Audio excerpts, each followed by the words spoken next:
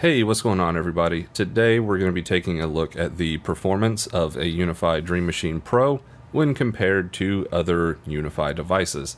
Now this is kind of just an add-on. I've done a uh, performance test like this before with the Security Gateway Pro, the Security Gateway 3 port, and quite a few of the Edge Router devices. So this is pretty much just adding on to that and seeing how the Dream Machine Pro compares to all the others. Now, just a quick recap. When I do these tests, I have the baseline, which is just two computers connected back to back, and then for every other test, I will connect the device between the two computers and run a series of iPerf 3 tests, which is just like upload, download, UDP, 30 parallel connections, and bidirectional throughput. And I run all of these tests against different uh, device configurations, so there's four different configurations that I run all these tests on. One of them is just out of the box, straight up minimal configuration. The second one differs between the edge router or the security gateway and Dream Machine, but basically it's the default security setting. So you start turning on IPS and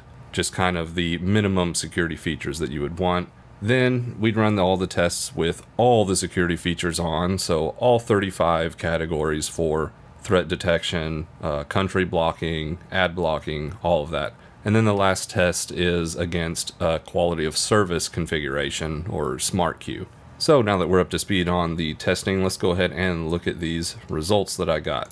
So for the TCP standard upload, our baseline was 940 megabits per second. Now, I will say that this baseline was on different equipment. My initial video came out uh, years ago, so I don't have the exact same baseline as I did back then, which is why if we go over to our UDM Pro numbers, they're technically higher than baseline, which is not possible. The throughput of the UDM is not going to go faster than a physical cable between two computers, but we can pretty safely say that like 946 ish is our baseline for these tests. So there is a little bit of variance between all my older tests and this new one, but Anyways, straight uh, out of the box, 946. Minimal security features, 945. All the security features actually back up to 946. And then with the smart queue or quality of service enabled, we're actually down to 900 megabits of throughput. So compared to everything else, it outperforms everything. The only real uh, competitor here is the Edge Router 4 with the 938-ish for all of them, and then 9 or 826 for quality of service.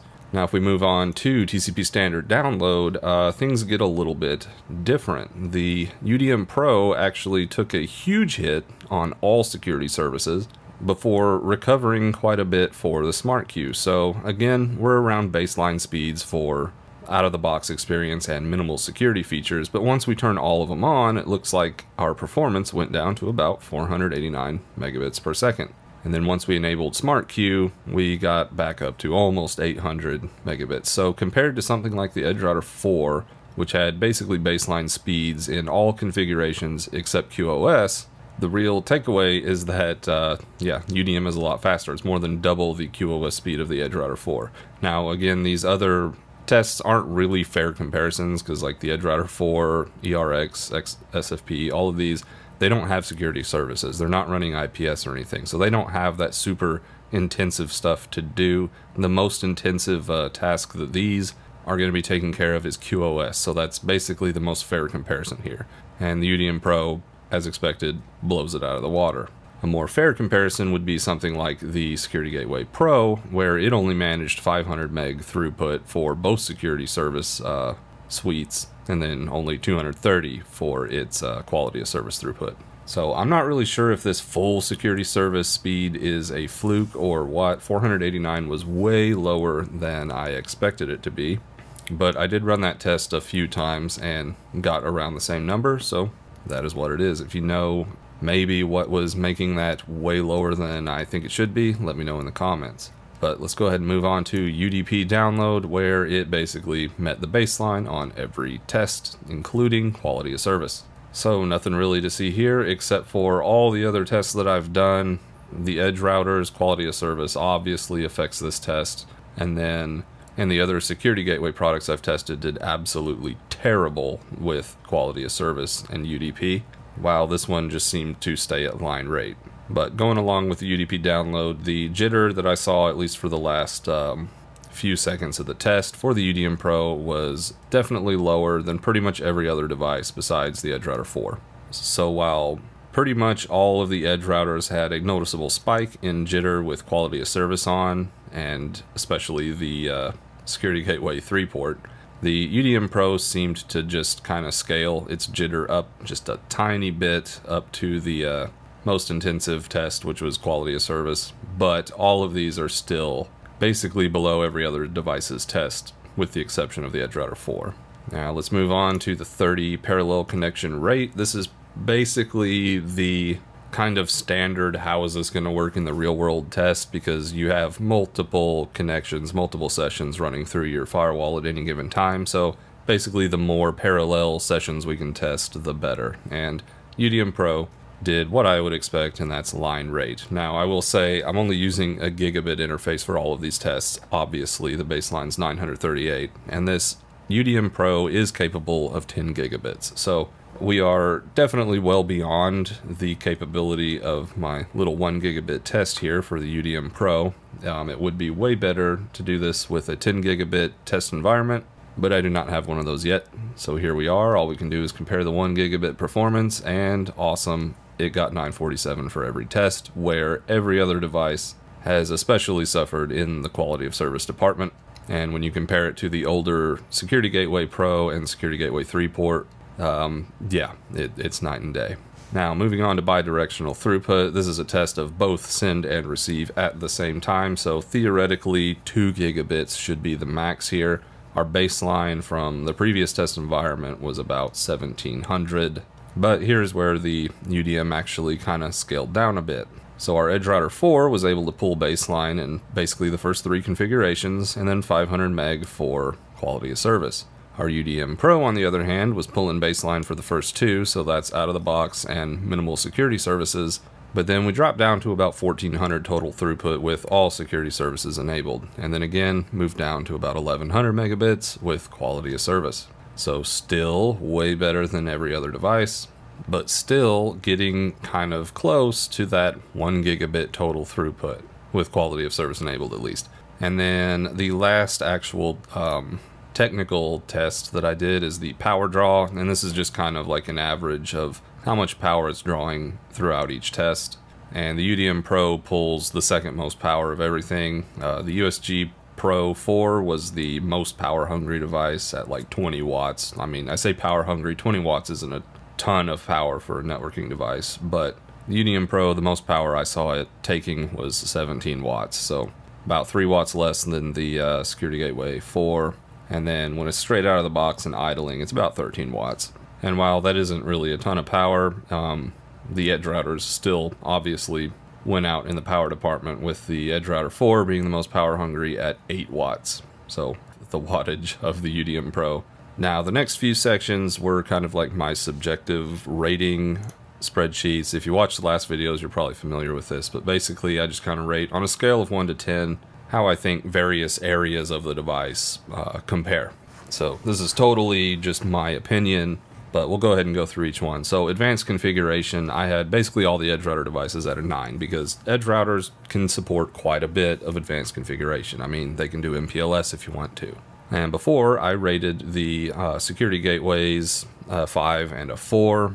And my reasoning there was that the uh, three port security gateway could do less security services than the Pro. And now with the Dream Machine Pro, I rated that a 6, so one above the USG4. And really the only reason is that the software has come quite a ways since then. Maybe the USG4 at this point has some of the more advanced features, but there are things that they've added to the software and some things that the UDM Pro can do that the other ones don't. Like I think the SD WAN is a feature that they have now, even though it's kind of proprietary, it's it's still there. So there's a little bit more to it, but it is still not on the level of an edge router when it comes to advanced configs. Now, unified threat management, obviously I put all of the edge routers at 1 because they don't have that. And I put the USG4 on par with the uh, Dream Machine Pro because they pretty much do the exact same level of threat detection. Um, probably should have raised the UDM to a 9 here. I think it can do more than the USG uh, 4, but for the most part, they detect a lot of the same things. Now, the firewall, this is basically how well it performs as just a generic firewall device, input, output rules, yada yada. I rated all of the edge routers before, one higher than the security gateways, and that's only because I find the interface for the actual UniFi devices to be a little bit more convoluted to get down to actual firewall rules. There's a lot more clicking where the edge routers just have it right there in the firewall menu. And if you don't even want to use a graphic interface, you have the option to do command line. So that's why I rated those higher in the firewall section. It Doesn't really have anything to do with it being a quote better firewall. It's more the configuration of the firewall. Now, UDM or Unified Device Management, um, all the Unified devices are 9 because they all run UniFi. All the edge routers are 3s because they don't. You have to manage each edge router separately. All the UniFi devices you can manage from a single uh, software pane. And then last is the expandability, which is basically just how many ports it has. UDM Pro has 10 overall, which is more than all the others.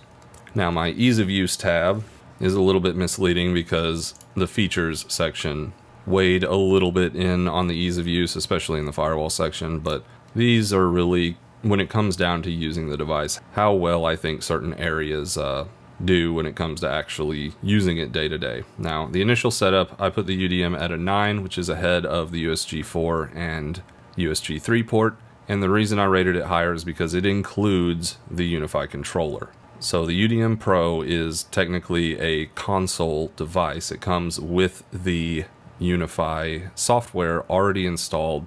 So when you set up your UDM, you have your controller set up. The USG 4 and USG 3 required another controller, so you had to have that set up before you could actually add it into the environment. That's just one less step with the UDM Pro.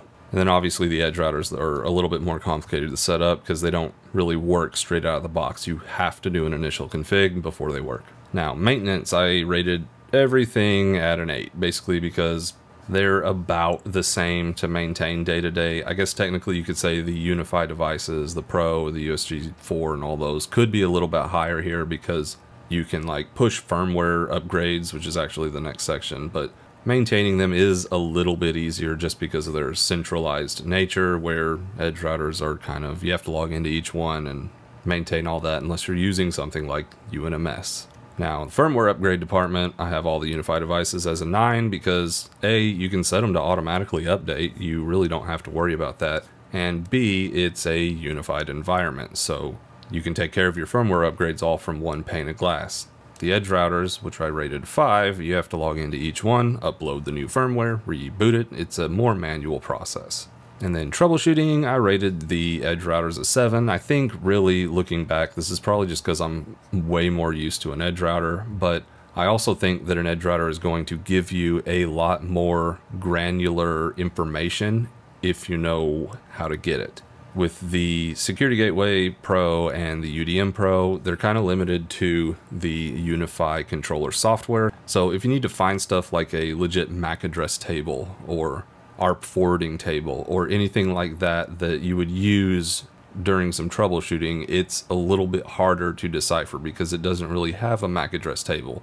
That is the clients tab in the controller. And I'm pretty sure that you go there for your ARP table as well. So it's a little different. Like you have to do a little bit more digging and wrap your mind around the software networking part to really get the information you want while you're troubleshooting. Where an edge router is a little more old school. You put in the standard commands, show MAC address table, show IP route, show whatever. It's it's more complicated, but it's easier when you've been in uh, the field for a while. And then last is the configuration updates. This is pretty much how easy it is to make a change. Edge routers are five because you have to log into each one of them to update them, and the security gateways are a seven because again, it's the unified pane of glass, single pane of glass. Now, I don't know why I put the UDM as a 5. I think that's a mistake. Pretty sure that's supposed to be up uh, with the others at a 7, so whoops. That is supposed to be up here, not down with the edge routers. Now, second to last page is cost, and no surprise here, the UDM Pro is the most expensive. However, it is not that far ahead of the Gateway Pro when it came out, and it absolutely smashes that thing. So I would not consider the USG Pro, which I'm pretty sure they don't sell anymore. When they did, that was how much it cost. I'm pretty sure you can get those on eBay still for like 50 bucks or something. But the UDM Pro is $379 and the Edge Router, let's see, Edge Router 4, which is probably its closest performer in the Edge Router department, is 200 so nearly double the price of that. But as we saw in all the tests, it could be worth it. Uh, the UDM Pro definitely has more power, but it's up to you to decide between the unified devices and the Edge Router line, depending on what you want. Now, last page I did, I called it the Toasty score. This is pretty much just a uh, stupid algorithm that I put everything through to come up with a percentage out of 100 with all of the tests and the subjective uh, ratings. So, however I built that algorithm, I don't really remember anymore, but the UDM Pro came out actually below the Edge Router 4 in the total percentage score, but not by a whole lot. I do remember that the main thing that counts against this chart, or the biggest thing that counts against it, is the price. So that's probably why the UDM Pro is so much lower. So it's pretty much a toss-up between the Edge Router 4 and the UDM Pro. Now, what did we learn from this video? Is the UDM Pro worth it? Well, yeah, probably. If we were running a 10 gigabit test against this instead of just a 1 gigabit, this number would probably be higher because it would score beyond a gigabit in a lot of the previous tests. So this really isn't a fair comparison for the entire device against all these others, but it is a fair comparison of its 1 gig performance between them. And there were a few tests that I expected it to basically be baseline speed where it wasn't. So basically do with this information what you will. These were the numbers that I got. Um, this is not installed in my production network yet, so this is really just kind of a initial how is this thing maybe going to perform type of deal.